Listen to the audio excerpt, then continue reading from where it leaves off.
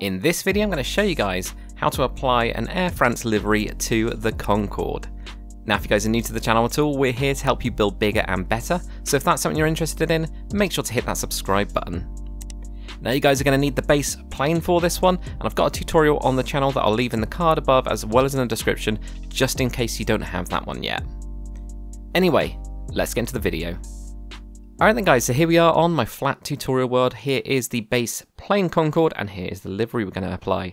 This one's super duper simple, so I'm going to go through the materials and we're just going to really whip through these. You're going to need blue concrete, you're going to need red concrete, you're going to need a warped trapdoor that's closest uh, blue trapdoor that we've got, and you're also going to need mangrove stairs, which is the closest kind of red uh, stair that we've got, or at least that's what I usually use in my builds. So we're going to start off with the writing part of it. This is going to be different on each side, uh, but it's super duper simple. So where we've got these slabs coming out from the wing here, uh, we're also going to start on the right hand side, I should say.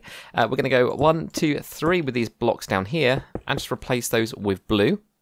Leave a block, and then you're going to have four blocks here. One, two, three, four, like that.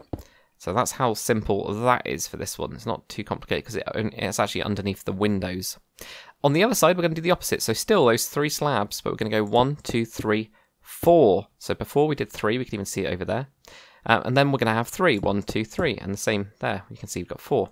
So it just ends up, you know, flipping it around because it's saying air, then France. It's the closest that we could get for that. But that's it, guys, for the writing part of it at least. So on to the tail piece, the vertical stabilizer now. What we're going to do is the first two trapdoors at the top here at the back, we're going to knock those out. I'm going to put in warped trapdoors instead, like this. With your blue concrete now, we're going to go across these two here, one, two.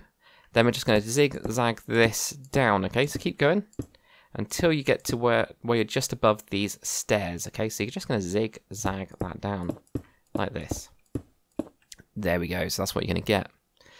Now, diagonal from this one, you're going to just put in a block there. We're going to have four of these diagonal, two, three, three, and four. There we go, like that. Let's end it with like a big stripe and a smaller one out of blue.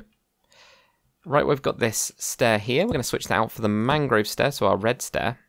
Then underneath, we're going to go and zigzag this just a little bit. So just down to there like that. So that's what you're going to end up getting. Now what I'll do is I'll allow you to pause the video if you need to, and then you can just apply that livery. It's really easy. But guys, that's literally it for this tutorial of how to flip that out to the Air France livery.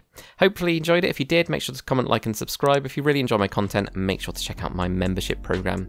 But anyway, guys, I'll see you on the next one.